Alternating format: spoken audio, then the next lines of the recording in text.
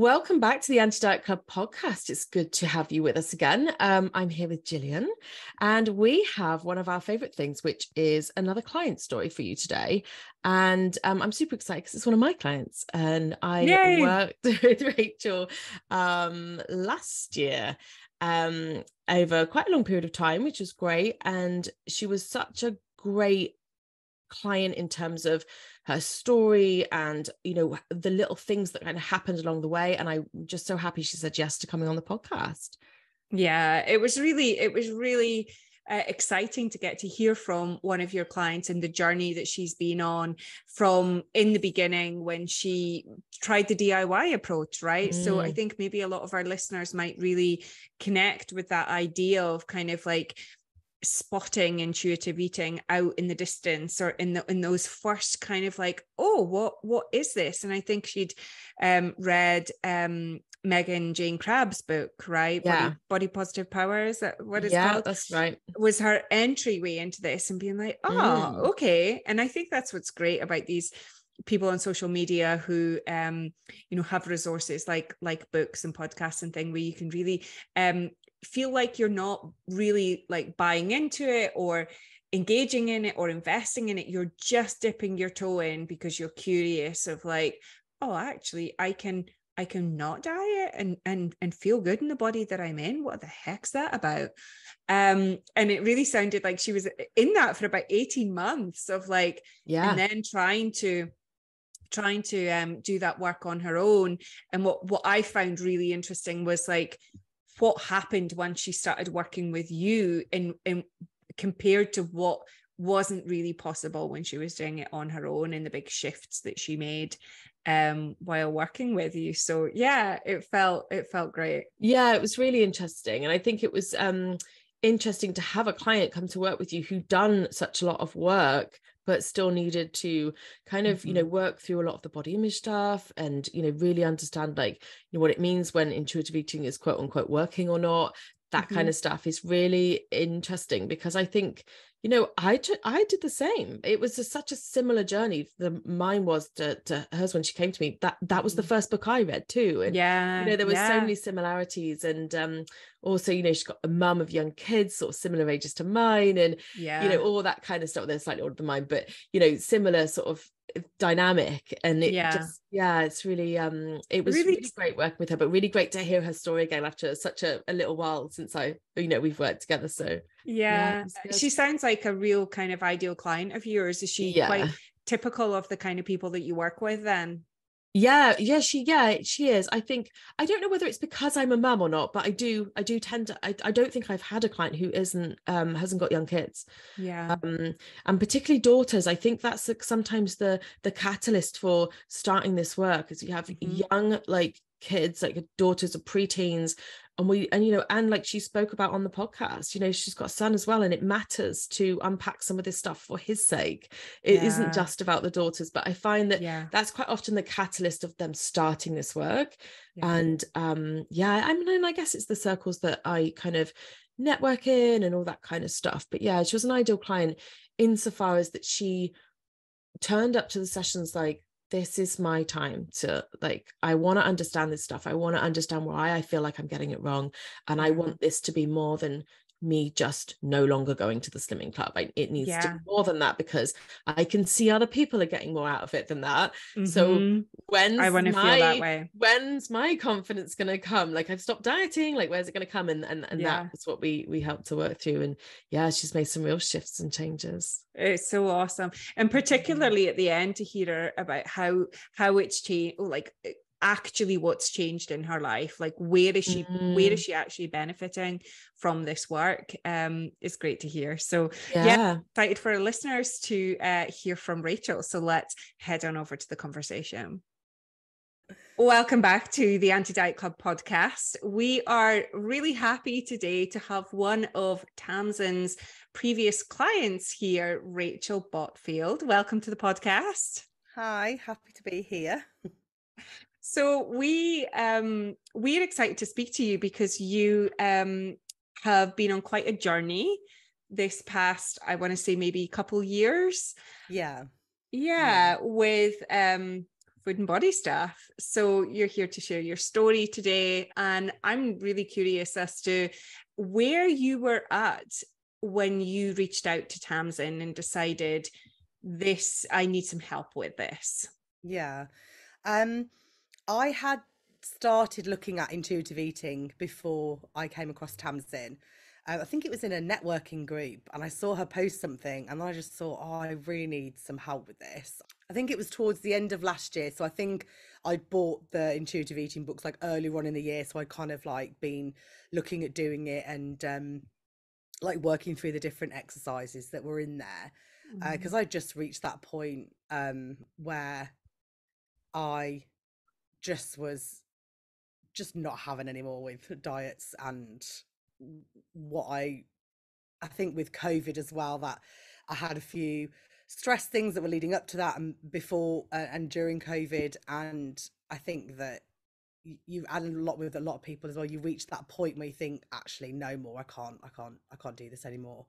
Um and so I can't remember where I came across intuitive eating um to begin with I'd read um Megan Jayne Crabbe's book um mm-hmm. the body positive body positive body power yeah. yeah. so i came across her i'm not sure where i came um, maybe it was on instagram and i'd started with reading her book and that kind of and then i had seen the um the anti-diet book with um christy harrison as well yeah, yeah. so i kind yeah. of dipped in and out of that um as well so i i knew that it was like there um so I kind of, I suppose I dipped in and out for maybe 18 months, kind of coming yeah. to maybe just coming to terms with like fighting that. Mm-hmm. Yeah. Like, wanting to stop dieting and, and wanting to get into something to be free and then thinking, oh, how can I do that? And yeah, so I just kind of, I'm a bit of a nerd when it comes to something that I want to do. Like I love reading books, learning about it. Kind of, yeah, learning about it. Um, yeah. So I was and once I started reading about it, really, it kind of opened that little crack in the door. Yeah. And thought, actually, you... maybe it doesn't have to be like that. Maybe it doesn't. um, do you mind me asking how long would you say your dieting career was leading up to that point? It, were you a real hardcore dieter, or were you somebody that dabbled and just was generally unsatisfied, or were you a really committed dieter for a period of time? Um, I was a really committed dieter from when I had my kids. I kind mm. of dabbled, I would say, prior to having the children. Um, but I kind of think about it now and I just, I obviously just didn't let it get to me or is too busy doing something else. But when I had the kids, that is when I felt the most pressure to mm. diet because I was like, oh my God, I'm the biggest I've ever been. And you get all these stuff about people snapping back to their bodies after they've had a baby and yeah so that was what i i joined um slimming world and kind of got went down that kind of route and i was like a very committed obsessed dieter mm-hmm. like its own i even I don't think I have actually recently thought about sins, but I literally was everything was like a calculator for like mm-hmm. how many sins is this? Mm-hmm. It was mm-hmm. just like ridiculous. So I was always the person as well.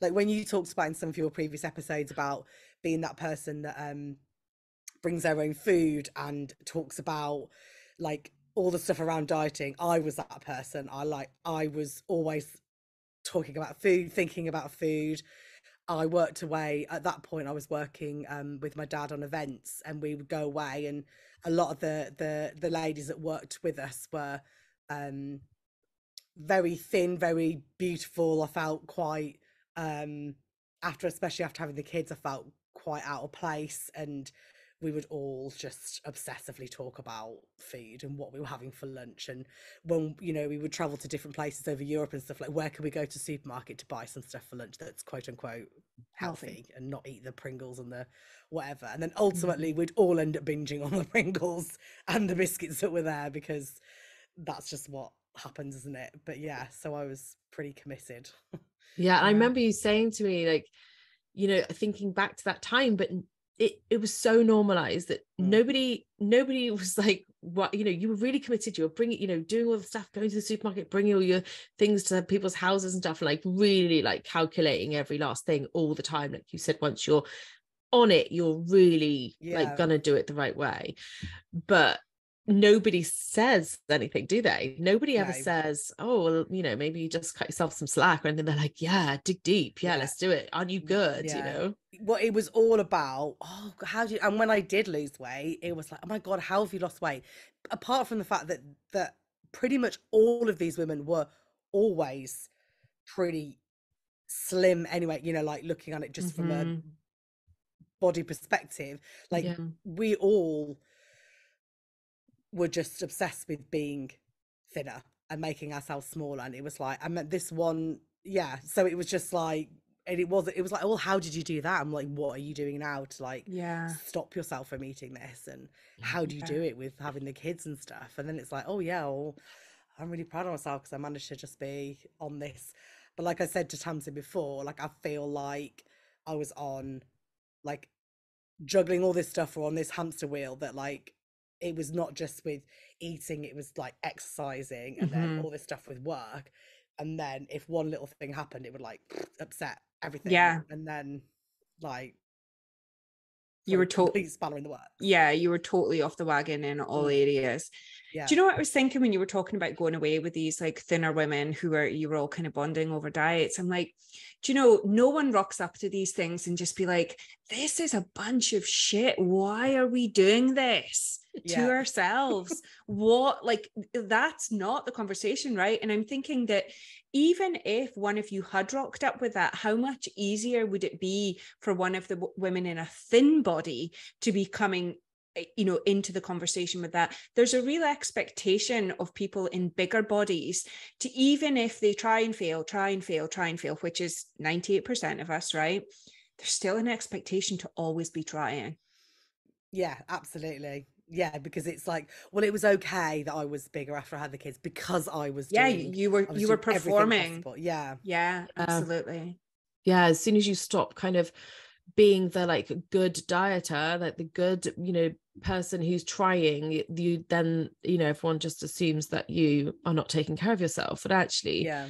this is the problem isn't it? We're pitching this stuff as taking care of ourselves when actually you know far from it. When you're in it you know nobody's realizing the lengths that you're going to and the extreme you know things that you were doing and you have children around that you need to be want to be taken mm. care of and actually yeah. that preoccupation with food can be so hard and i would love to know like when you were in that did you feel did you kind of feel that it was just you that was finding it difficult to like lose the weight keep it off do all that kind of stuff did you feel like everyone else was just kind of fig- had this stuff figured out and that you were just still on this hamster wheel um trying and trying.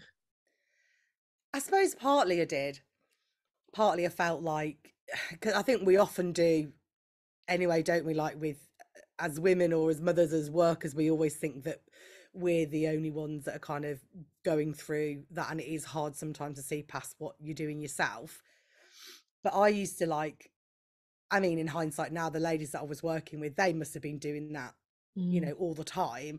And they, the kind of work that they did, so they were doing a lot of hostess work. And it is so, you know, we just want the prettiest girls, we just want the thinnest girls. A lot of them had mm. done a lot of motor show stuff when they were younger, where they were wearing like hot pants and stuff like that. I mean, that in itself mm-hmm. is a is a a problem, and they've obviously been made to yeah, it's a requirement of the job. Yeah. yeah. And um, although that wasn't when we were working with my dad, but I remember one time um, I wasn't picked for a job because I wasn't quote unquote blonde and thin enough, mm-hmm. which really, really upset me. That was like before I had the kids, yeah. Though, um, and I guess I found it easier to brush off then, but they must have been going through similar things. But it's I think it's just because it's so normalized mm. that you don't like. I didn't. It's only kind of looking at intuitive eating and, and doing the work that I've done with you, Tamsin, and like now discovering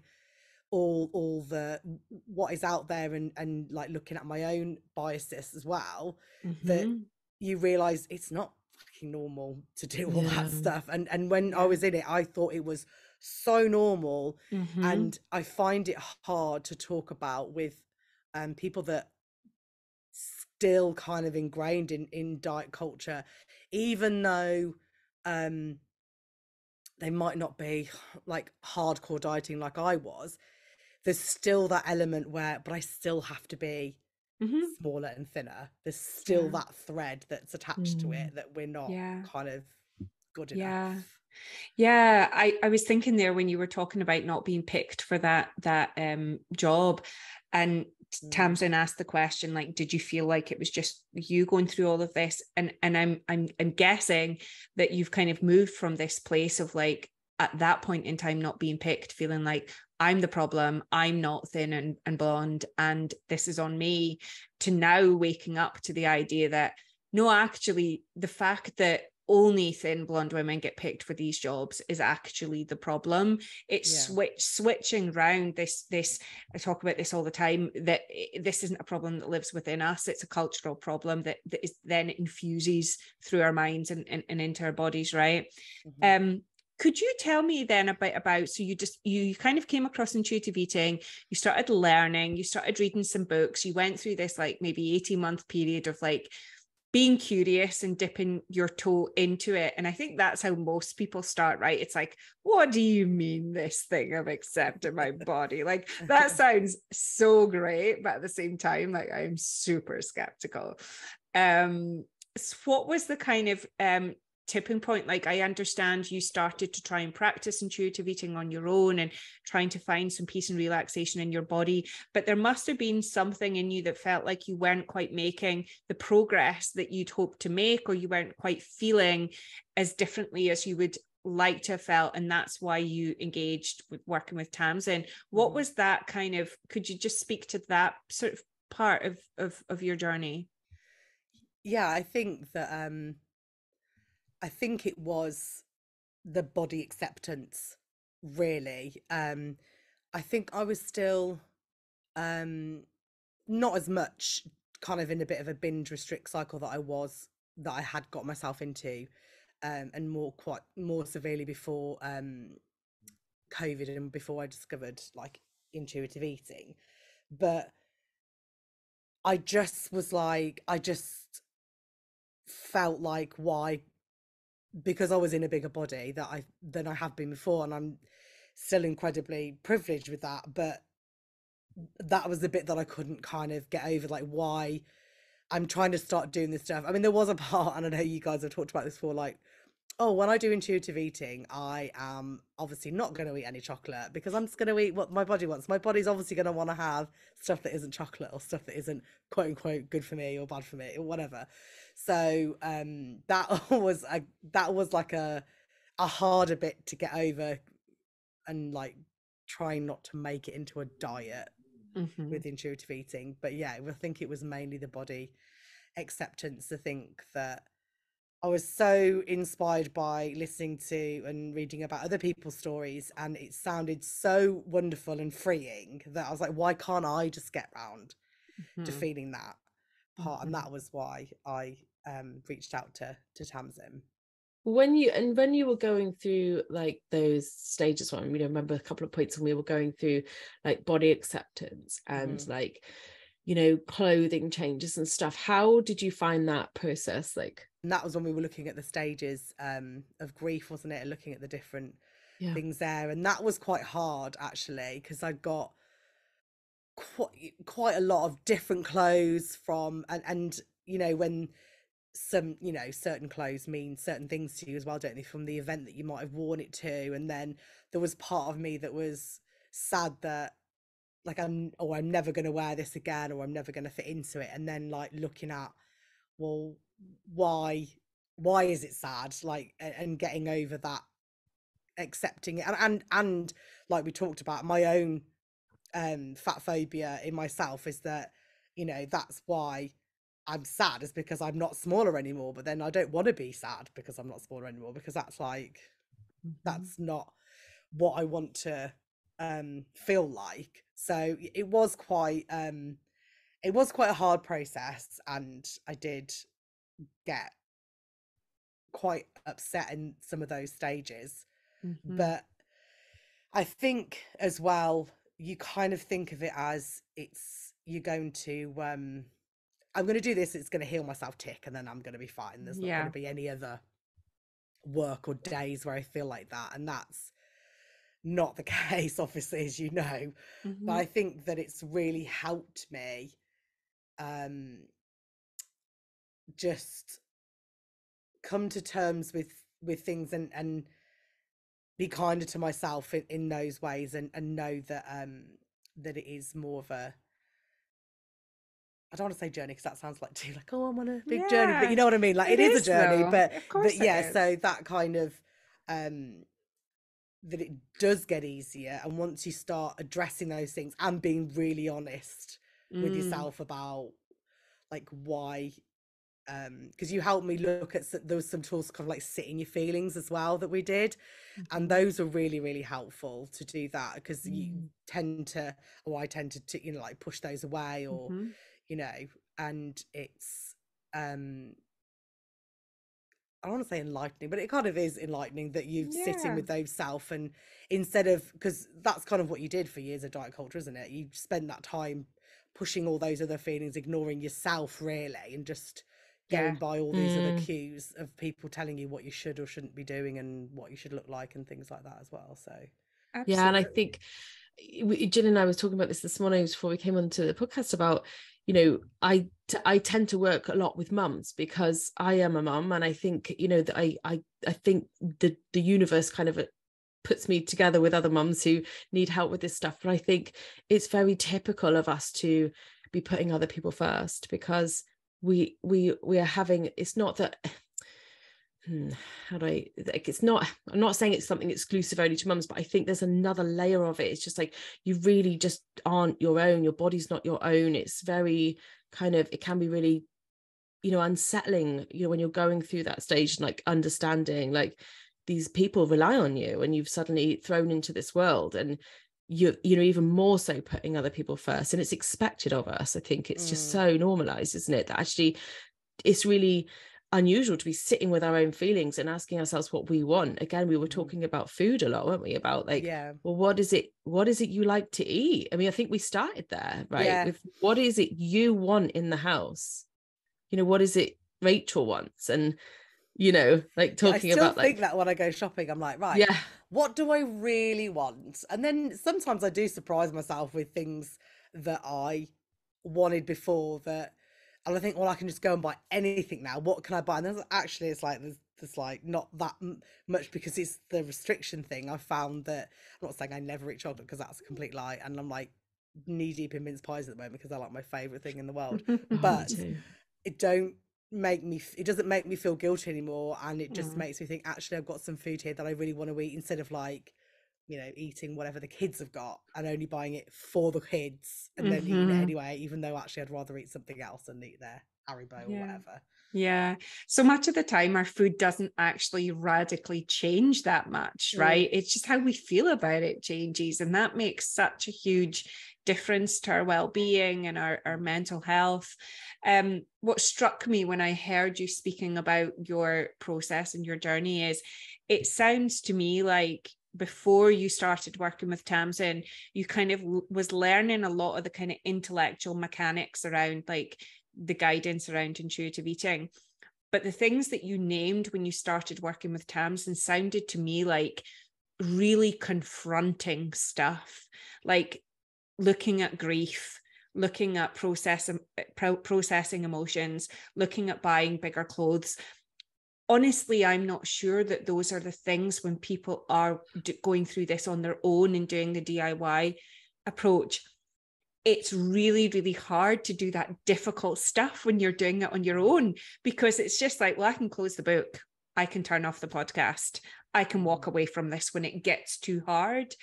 Um, and to have somebody to go through that process with and to sit with and be confronted with, and I'm sure there was a lot of tears and a lot of, you know, laughing and, and all of it comes out Mm. but um does that sound right that you maybe went to to, to more difficult places that have maybe shifted the needle in a bigger way through working with Tamsin than what might have happened on your own yeah definitely. I wouldn't have I wouldn't have approached well i wouldn't have approached it the same way because i wouldn't have thought about some of those things to do. You're right i would have carried on with following the book um you know and possibly ended up turning it more into a diet without even thinking about it really like saying about wanting to oh i shouldn't want to eat that i shouldn't want to eat this and we talked about that didn't we when, when i first when i first started i think that it's it has been really valuable having somebody guide you and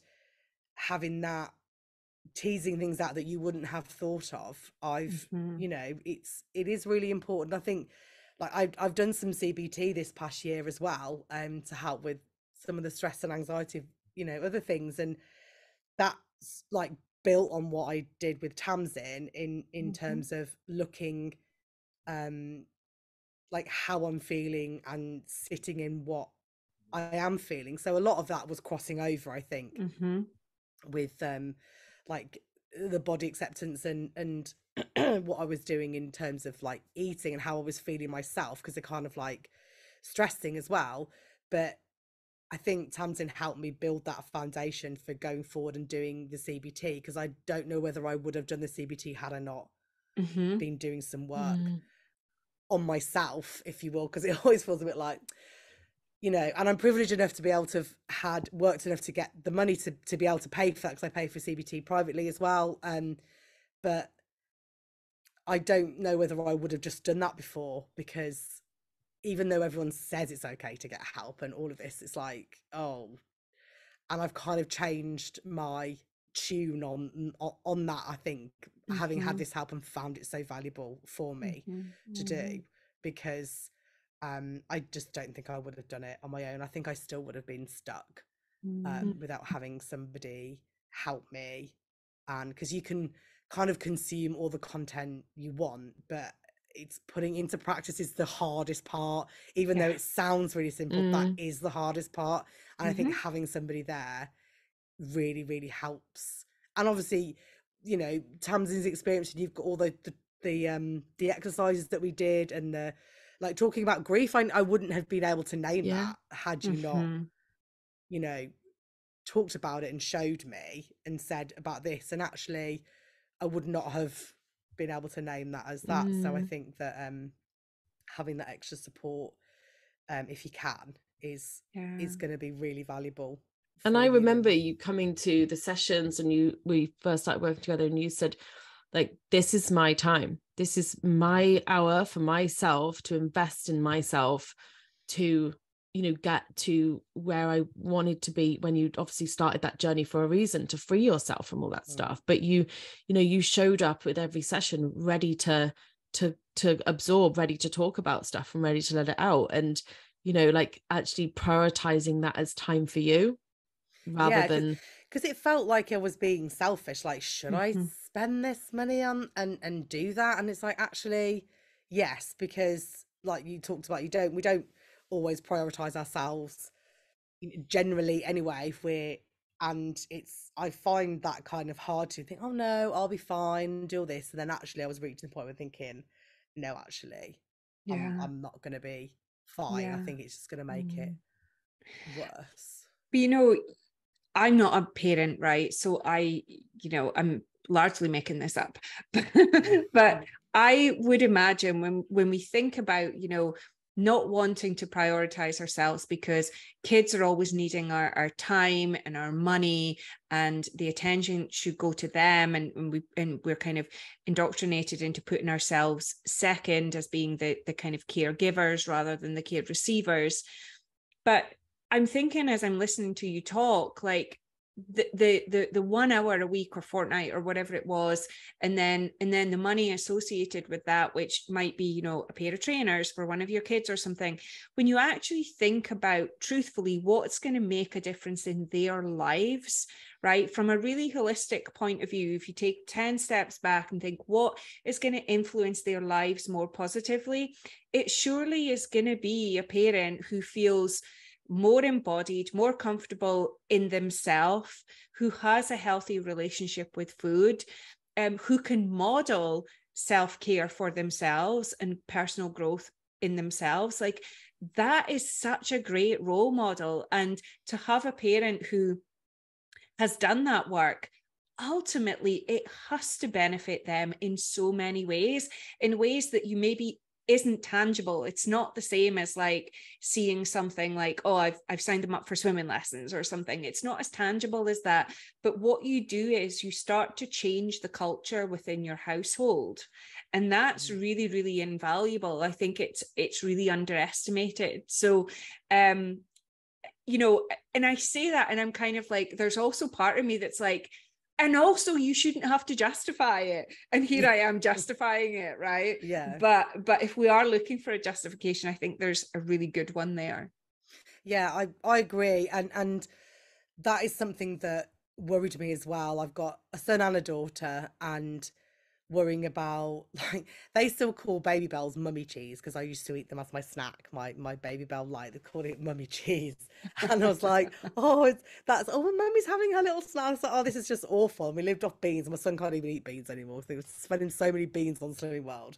He's like can't eat beans anymore, and I just and they're going through. You know, they're at that tween age.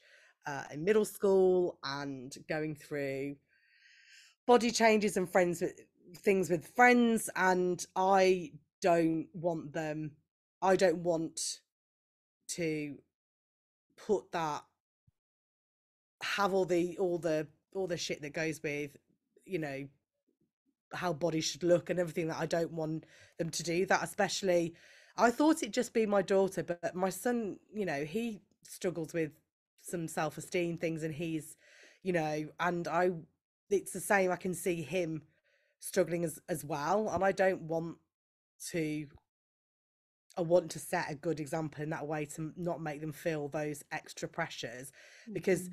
i mean they are going to reach a point at some age where i can't protect them or stop mm-hmm. them from consuming all of that um lily's really aware with her friends of being talking about being yourself like she's really they're all really big on that which i think is really lovely but max does um he struggles with that and i bought the body happy kids. Mm, um i haven't read all of it yet but um so did you say you bought it for your teacher I bought it for several teachers. Several teachers. It's an end of year so... present that I give the gift of. I love it. And I actually I had a teacher that. thank That's me great. for that. I had a teacher saying, You gave me that book. And we, we never really kind of discussed it any further than that. But at least she acknowledged that I bought it for her. But yeah, mm. yeah, yeah. You had the teacher book. on, which I love. I feel like I'm episode. writing down all these book recommendations yeah. because we always, every episode, we turn it into like a little bit of a book recommendation. Yeah, we so need good. to re- recommend that one. book. But you're totally right, Rachael. Like, um, you know, I think so often we we talk about how uh, girls and and women are affected by patriarchy but actually patriarchy doesn't work for the majority of men either mm. right i mean arguably not for any of them but um they they suffer from it too right the way that mm-hmm. we are conditioned to believe that our our role in society is x they're similarly conditioned to believe their role in society is y and that's mm-hmm. not helpful for them either so i i definitely think it's like a cross gender uh, mm. problem that we're dealing with and and i think that book does a really good job in, in yeah. helping uh, it's just yeah. so hard to see that the things that they coming up against school. It's the same stuff that happened when mm. I was a kid. Like, you know, this is like 30 years ago when I was in school and their age. And I just think, oh, haven't people grown since then? Surely opinion should have changed by now. And then he's still coming up against the same stuff and it's just really yeah. frustrating because these systems of oppression are still at play and that's what's filtering down into mm-hmm. any of the mm-hmm. stuff that we're talking about and just to kind of you know go on to that point again about boys is you know we need to be also letting them see like not let them have you know seeing that they can have um, a healthy relationship with their own body but also to see that everyone around them girls boys everybody is bodies change bodies mm. change you know and it doesn't matter if yours doesn't change it other people's might and that's okay and like mm-hmm. un- understanding that i think mm. that's really super important but uh, it's yeah. all start part of the same systems that are just yeah mm and no. to your to your kind of point rachael um about all these like why hasn't that changed if you look at um statistics around other um kind of marginalized identities and and the oppression and discrimination and stigma that's associated with um, homophobia for instance for racism all those numbers are going down over the you said like 30 years if you look across that period. The um the numbers are going down in terms of how people are affected by this. Fat phobia is going up. It's the only it's the only like marginalized identity that is still going up when the others are going down so that you know I, it kind of sticks in my throat a bit when i mm. when i think about that and repeat that but that that is the truth so that, so as much as I, I feel like there's a really big shift happening um there's still so much to be done so and it does start mm. with younger generation right so um yeah. Can it, I, have um another eh, question that I'm, I'm keen to kind of follow up with. So rachael you you really eloquently described how this work that you've done on your own and then with Tamsin has really um, made some shifts in your household and how you range, raise your kids. But I'm really keen to understand how it's affected your life in other areas. So maybe you mentioned that you have your own business, so maybe there or in your um, other relationships or friendship groups. Like what's what's this work done for you in those areas? It's been really great for my business um, in terms of showing up more and showing up more as myself. So I wanted to get some brand photos done, um, and I did end up doing that in the summer. Um, I met a lovely lady, and she um, was big on making you feel comfortable um, and kind of like getting you out in front of the camera. But I wouldn't have been able to do that had I not kind of like started this, um, like doing the work that I did with Tamsin, just because I was too scared to have them done and thought, what if I don't like the photos and I spent all this money or I don't want to put them up online and what are people going to think? And you know all those things associated with not liking um, our photographs. And I was really really surprised I absolutely loved my photos. I could not have had some better photos done and I really feel like they kind of capture me and I know I've had some really good feedback from people saying that they think that they look like me and like I'm doing some you know podcast moves on my hands and things like that. But I really and they've really helped my website to personalize it and so that I can show people like who I am. And um yeah it's really helped my website um because I'm able to put pictures of instead of just kind of using the the stock photos I can put photos of me on there to show like who I am and in my business, which I really feel much better about my website now. Mm. And I try to and I use them in my social media posts as well, which is really great. So I don't have to kind of um, keep trying to take some selfies or use the same selfie thing. And it's helped me show up on video as well. I do do some little videos um, and I do some of them without makeup, and because that's generally how I am mostly day to day. And I, it was a bit of a barrier for me, so I still kind of like stopped and started. But because I feel more, because I am more accepting of myself and and how I how I am, and I've just decided to just do them anyway because um Otherwise, I just wouldn't end up doing them if I'm still waiting for, oh, let's just do my hair or do my makeup or, or something like that. Mm-hmm. So I just thought I it has really helped me to do that because I wouldn't have done that before. I would have been too afraid to. I'd have just, you know, done hid a, a typed post. So yeah, yeah, yeah. hid, yeah, hid, yeah. Mm. Um, it's helped me be more confident in doing some networking. Um, I went to an event last night and I was talking with a lady there that was talk show, saying about how she struggles to show up on video um, without like worries about her makeup and how she looks and things. And I was just kind of like talking to her about how I just do it now, and she was saying, "Oh, that's really amazing," and I wish I could do that. And it did made me, and I kind of brought up. I brought up that I'd worked with you, Tamsin, and brought up the work that I have done and she seemed really like receptive to that and and something that she hadn't thought about before. And i just I, I think there are a lot of women out there that struggle to show up in their business for fear of being judged of what they look like or they sound like. Um and and I think part of that is how you judge yourself as well. And I think that because I've done that work. I mean it is ongoing you know I don't Worse. you know every day you know there are some days I record the video about five or six times. I'm like no no. But um I think that because I have challenged those thoughts and my own biases biases um that that has helped me kind of get over like we talked about before like shifted the needle in my change um of thought and there are um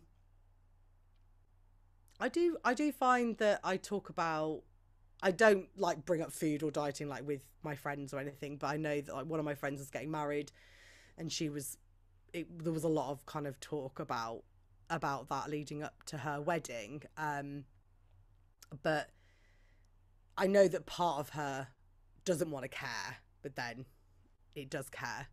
Um but so that was a bit hard, I think. Um but on the most part i i i because i when i was doing the dieting i was very vocal about it talked about it all the time and i Oh, yeah. feel like i was a bit of a nose when it came to it you know and then so We all were. we all feel like that I was for sure. so now um I don't want to although I feel it's very important and if somebody kind of and I'm a bit more confident in in saying more what I think now um like a bit more down the line um I don't want to push this on because I know that potentially when I was still in that position I wouldn't have Yeah. had any of it from somebody else because I was so, you know, stuck in exactly what I was doing. But, you know, if somebody is saying, you know, getting upset about about ah, putting on weight or worrying about the eating, and I just, you know, try and say, you don't need to worry. We don't have to. It doesn't have to be like this. Kind of like, but more in a um positive. You know, just try and help them. Compassionate way. Yeah, yeah, rather than trying to educate people who are maybe not ready Yeah. for that Yeah. anti-diet message like the full Yeah. works Yeah. yeah, i think we've all been at that point where we've you know wanted so badly to sort of share this work Mm. and the freedom and the things that you all the things that you feel and you kind of you know get further along in the journey not out the other side because we always talk about there is no real end but we just want to tell people but you know you Mm. don't have to do this you don't have it doesn't have to be this way and i know you're pretending it's easy and i know that it's not for you but we we know that we it backfires so often doesn't it like when Mm. we kind of venture Yeah. down that road Yeah. yeah Yeah.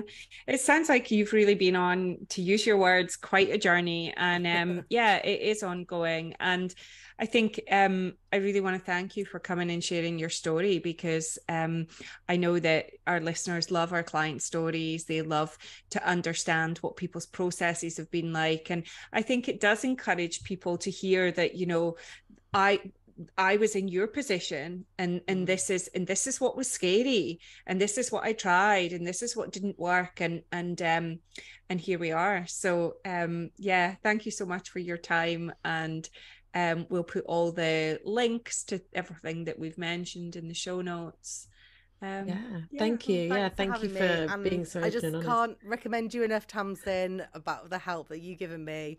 So, and I'm really glad that I discovered you and you as well, Gillian, and the podcast because it does it gives me that boost on the days where I'm Mm-hmm. feeling um on the harder days I Yeah. just put on an episode and listen to you guys talking and it always helps me kind of like recenter and think actually this is I feel better going forward so thank you very much. Yeah that's really good to know because that's, what it's so here for isn't it? Yeah. Yeah. Yeah. Yeah thank you so much. Thanks Rachael. Thanks. bye. Bye